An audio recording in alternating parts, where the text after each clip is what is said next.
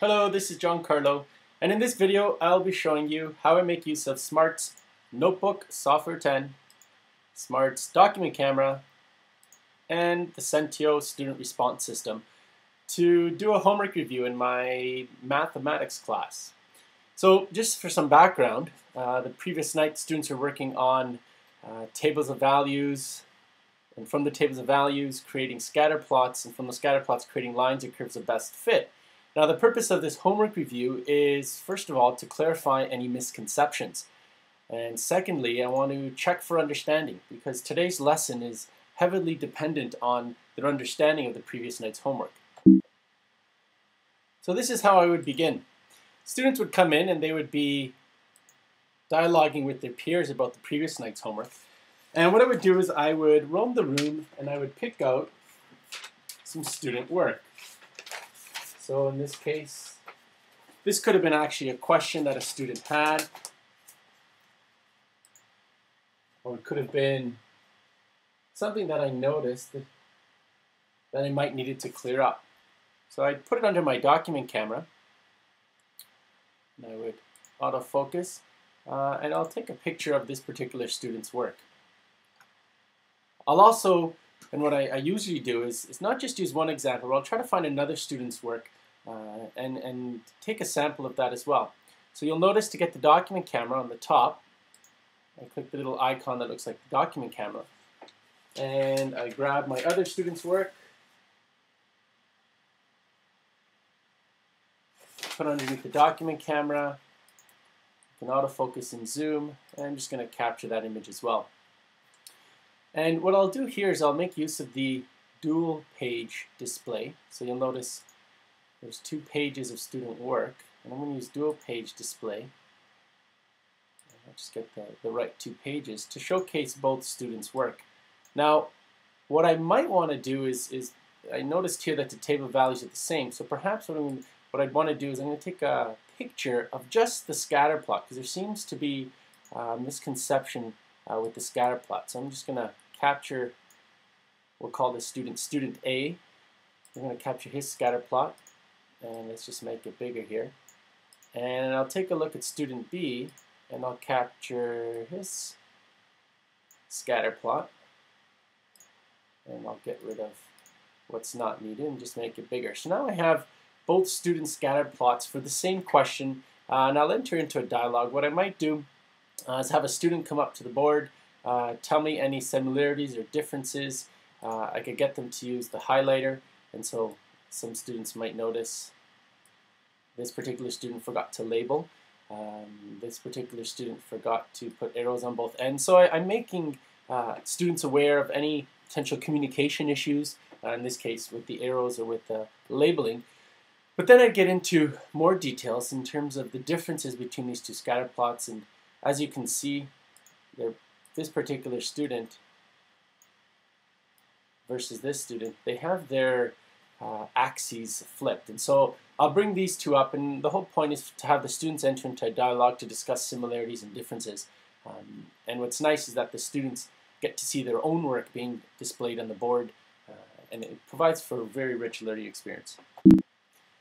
What I have prepared next is some questions that were actually taken from the previous night's homework, and I just want to check for student understanding. So you notice in these three slides, I'm checking to see if students understand uh, when to use each of the different lines, curve, or, or a no uh, model of best fit uh, to check for student understanding. So what I'm going to do is I'm going to use my SENTEO, and students would already have the receivers in their hands.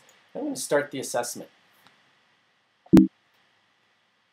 Once I've completed the assessments, what I'd like to do is actually take a look at students' results. So clearly I can tell that students understand that a linear relationship would be, or a linear line of best fit would be the best for this scenario. Only a handful of students got it wrong. And move on to the next question. And now I can see that all students understood uh, that this should be a linear model. And I move on to the third question. Let's take a look. Yep, majority of students understand that this should be a curve of best fit. And same thing for this last question that a curve of best fit is the best model. So once I have uh, checked for understanding for this particular concept, I kind of move on into more specifics. And what I want to see here is if students understand the concept of drawing line of best fit. So what I'll actually do is I'll, I'll go back to my student work. So I'm just going to scroll up here and get my student work and maybe I'll remove all the annotations that I made. And I'm going to copy this and I'm going to paste it and resize it because I want a student from the class to come up and draw what they would think would be the line of best fit. So I would use my shape recognition tool and I'll change the color to red. And the student will come up on the board and draw what they think is the line of best fit.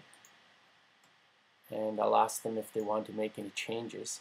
Now usually here you get some rumblings from the class you know, if a student does this, there might be some students that need to complain. And I wouldn't actually open the floor to the, the class yet, because what I'd like to do is I'll take a copy of this, and on the next slide, I'm actually going to have set up,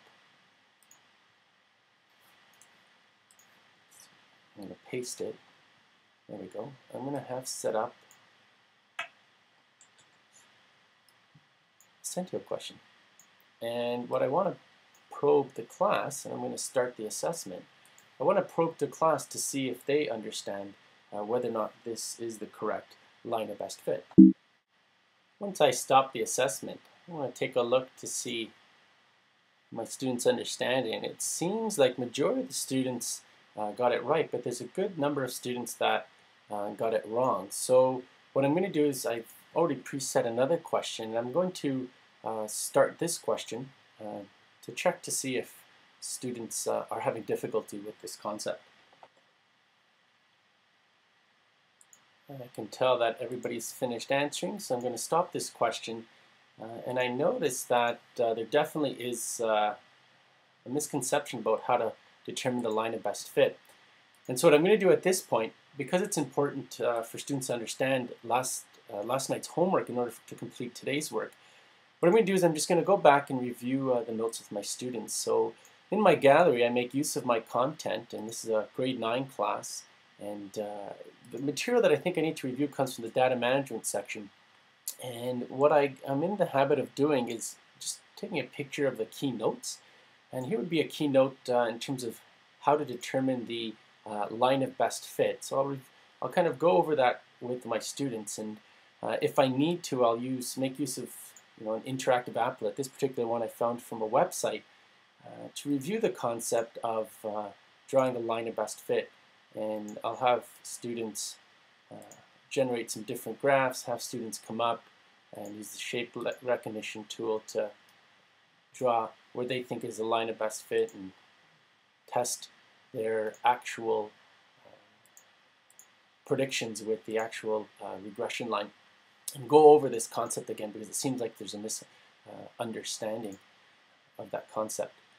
So as you can see in this video tutorial, uh, I've used notebook software, the document camera, the SENTEO student response system to clarify any misconceptions that uh, might have occurred in last night's homework based on the previous day's work, and also to check for understanding as it uh, is important uh, for today's lesson.